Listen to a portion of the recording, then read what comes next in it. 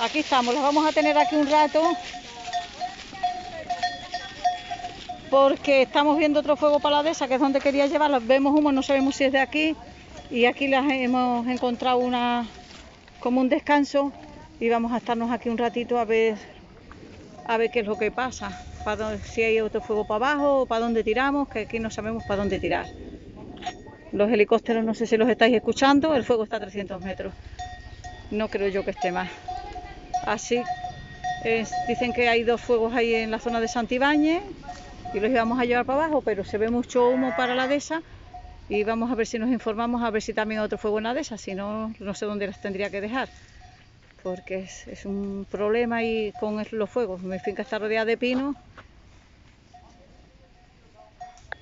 Bueno, que aquí estamos un rato, estoy llamando, estamos llamando por teléfono a ver si hay un sitio seguro donde llevar, está llamando Fati a ver si nos dicen y aquí estaremos un rato, están descansando las ovejas, el perro también se ha metido en el agua y es lo que tenemos, fuegos todos los veranos, esto ya es un problema que o se meten más animales para mantener las fincas limpias, hacer los mosaicos que estás diciendo tanto, o no, esto no, nos vida, nos echan a los ganaderos de la agricultura de, y no puede ser.